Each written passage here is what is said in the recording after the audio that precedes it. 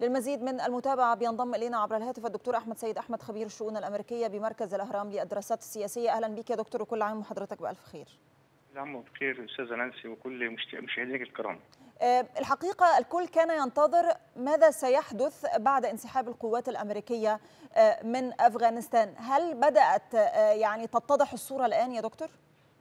هو في الواقع أن يعني ما سيحدث بعد القوات الأمريكية وحتى قبل إتمام الانسحاب القوات الأمريكية في سبتمبر أي ما بعد أقل من أربعة أشهر بدأت المؤشرات في اشتعال وربما اندلاع الأسلحة الأفغانية بأعمال العنف وفشل حتى هدنه عيد الفطر المبارك لمدة ثلاثة أيام في يعني وقف إراق الدماء بعد الحادث الذي وقع منذ يعني أكثر من أسبوع أكثر من عشرات القتلى و أكثر من ومئات المصابين في أحد المساجد في أحد أحياء كابول. أعتقد وما أيضا في مدرسة للبنات. كل هذا بيعكس أن القوات الأمريكية الآن هدف هو أصبح الانسحاب في حد ذاته والهدف الأساسي دون أن يتزامن ذلك مع ترتيبات حقيقية لما بعد الانسحاب.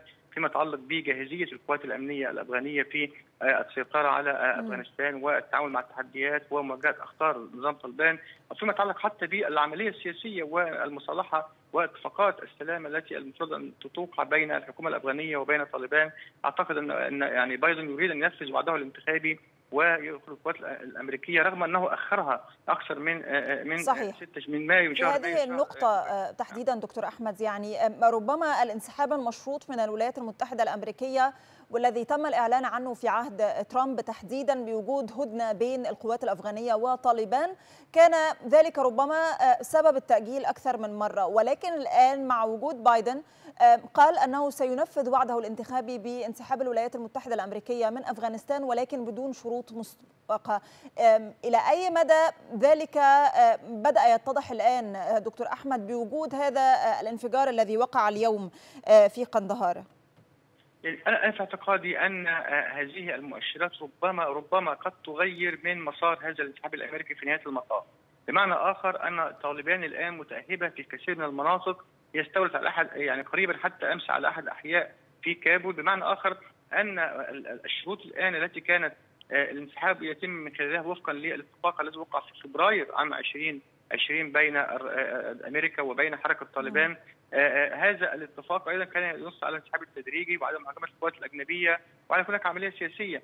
الآن بايدن ينسحب دون رؤية واضحة إن هو يريد أن يقول أو يوصل رسالة أنه في بعد 20 سنة من 11 11 سبتمبر ويوم ال 11 من سبتمبر 21 سيتم انسحاب القوات الأمريكية صحيح. في إتمام المهمة ولكنها حقيقية تعبر عن حاله من اللا انتصار واللا انهزام؟ يعني بمعنى آخر أن أمريكا تريد أن تكرر سيناريو الصومال بمعنى أن التكلفة العالية البشرية والمالية أكثر من تريليون دولار والبشرية أكثر من 3000 قتيل وعشرات الآلاف من المصابين من الأمريكيين من الجنود.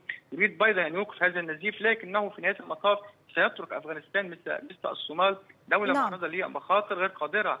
حقيقية حقيقة على بسط الأمن والاستقرار. حضرتك تفضلت بنقطة مهمة أو مصطلح مهم دكتور أحمد يعني فكرة الانسحاب الأمريكي من أفغانستان والذي ينفذه بايدن تحديدا لا انهزام ولا انتصار. إن كنا نتحدث عن هذا الانسحاب سيكون له مزايا بالنسبة للجانب الأمريكي الميزانية الضخمة اللي بتصرف على وجود القوات الأمريكية في أفغانستان وأيضا اللي حضرتك تفضلت فيه فيما يتعلق ب يعني الضحايا الذين يروحوا من القوات الأمريكية في أفغانستان افغانستان. أتحدث هنا عن الجانب الآخر. السلبيات التي تنتج عن خروج الولايات المتحدة الأمريكية من أفغانستان يا دكتور ووقعها على الجانب الأمريكي. نعم يعني أنا في اعتقادي أن ربما الخسائر أكبر من المكاسب. بمعنى إذا كان المكسب هو تقليل تخفيض التكلفه وسحب هم 2500 جندي. القوات الأمريكية كانت 100000 في بداية منذ 11 سبتمبر 2001 وانخفضت وزادت لكنها الآن هي 2500 جندي تقوم بمهمة تدريب القوات الأفغانية.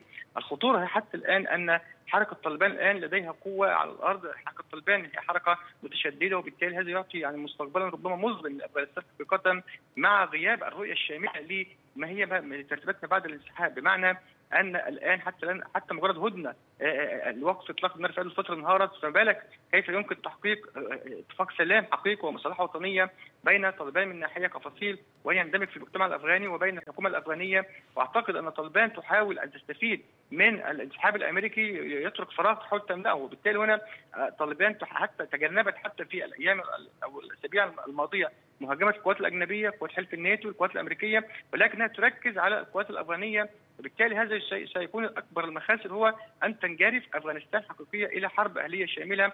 وبالتالي هنا تحول إلى نموذج الصومالي. بمعنى نعم. صومالة أفغانستان وبالتالي هنا ربما انهيار للاجهزه الأمنية. ولذلك هي المنهج الأساسي في التعامل مع مع أمريكا وهو فكرة الحرب على الإرهاب وهزيمة حركة طالبان لم تنجح لأن التركيز فقط كان على البعد العسكري، لم يكن هناك تركيز على التنمية، على الاستقرار السياسي، على بناء الدولة الأفغانية. نعم ولكن بالتالي هنا أفغانستان ستجني حقيقية 20 سنة من الثمار التركيز فقط على الجانب العسكري الذي أصلا فشلت في استئصال شأفه حركه طالبان الإرهابية. ولكن حتى لو لم يكن هناك هجوم على القوات الأمريكية خلال الأسابيع الماضية دكتور أحمد ولكن الحقيقة أن الأسبوع الماضي كان في هجوم من طالبان على أحد المنشآت الأمريكية واعلنت طالبان يعني مسؤوليتها عن هذا الهجوم على هذه المنشأة، السؤال الآن يعني إن كانت طالبان تريد انسحاب الولايات المتحدة الأمريكية وأثناء الانسحاب يحدث هذا الهجوم على أحد المنشآت الأمريكية، اذا يظل السؤال مطروح ما الذي تريده طالبان الآن دكتور أحمد؟